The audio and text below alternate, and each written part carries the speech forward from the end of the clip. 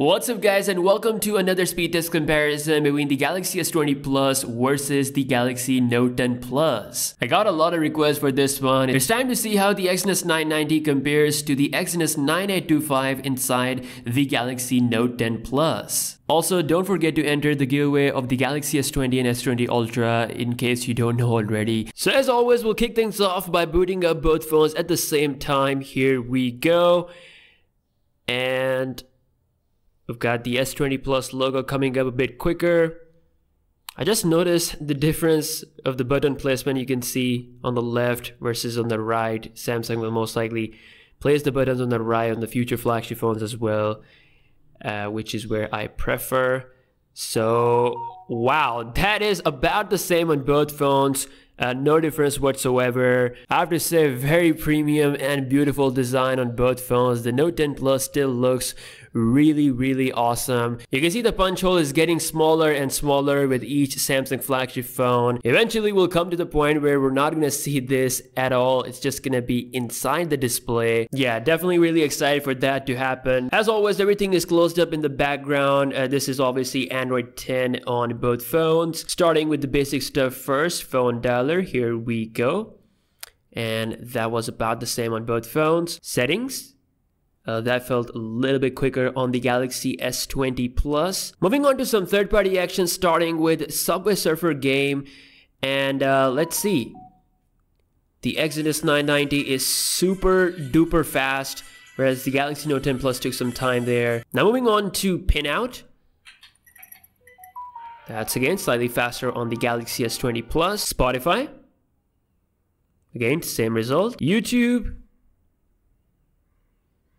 and uh, I guess that was really close on both phones. Again, you guys are the judge. When you scroll around, definitely there is the huge difference of 60 hertz versus 120.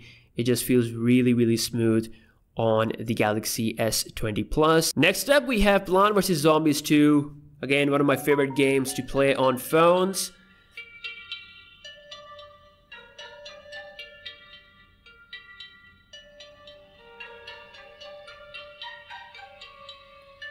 And the S20 Plus is done, followed by the Galaxy Note 10 Plus. Reddit. Once again, same result. Trying to scroll around.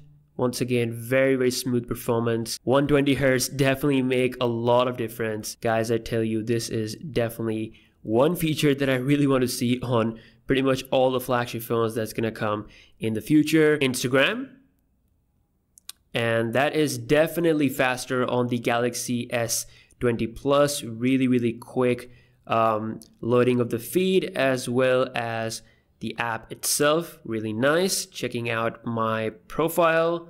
That got uh, slightly faster load up on the Galaxy S20 Plus once again. Now I do want to point out that I have done the fresh install of the Android 10 on the Note 10 Plus so it is actually on its best game. Time to check out Insta Camera and that felt about the same on both phones. The Galaxy S20 Plus feels a little bit quicker. Next up, we're gonna launch Quora, and that is slightly quicker on the Galaxy S20 Plus. Next up, we have Photoshop Express.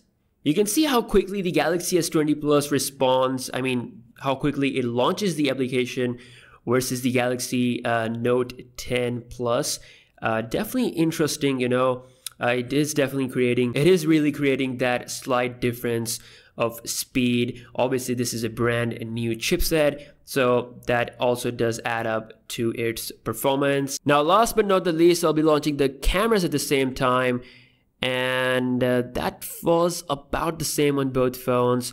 A pretty close difference there. Now, time for the browsing war. First website we have is apple.com and this is definitely quicker on the Samsung Galaxy S20 Plus. Again, if we scroll around, very smooth performance on both phones. Just the higher refresh rate creates that smoother experience. Just gonna open this link and uh, once again, the Galaxy S20 Plus slightly quicker with this as well. Now, checking out wikipedia.org, uh, once again, same result, quicker on the S20 20 plus and also you can notice that immediately when I start scrolling around on the Note 20 Plus or like previous Samsung phones it doesn't like feel smooth right away but that's something that I'm noticing with the Galaxy S20 family. As soon as you load website, you can start scrolling and it is really, really smooth. All right, let's get down to the business of RAM management. So this is exciting.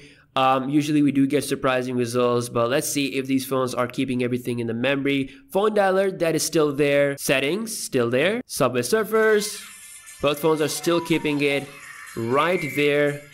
Pinout, Spotify, YouTube, Plants vs. Zombies 2, still there. Reddit, Instagram, Quora, Photoshop Express, and we are back to the browsers. Amazing RAM management on both phones, no refresh whatsoever. Obviously all thanks to the 12 gigs of RAM that these two phones have. I have to say excellent performance. We do have some good gains with the Galaxy S20 family. I mean Exynos 990 does bring that fast app launch and that extra pinch of smoothness with that 120Hz display. It really does make a difference. So uh, thank you so much for watching this I hope this video will help you to make the decision. Obviously, I feel like uh, performance is not the metric for the upgrade. I mean, these two phones are still really, really good. But this was just to give you guys a general idea of where the current generation stands compared to the previous flagship phone. Thank you so much for watching, and I'll see you guys in the next one. Peace out.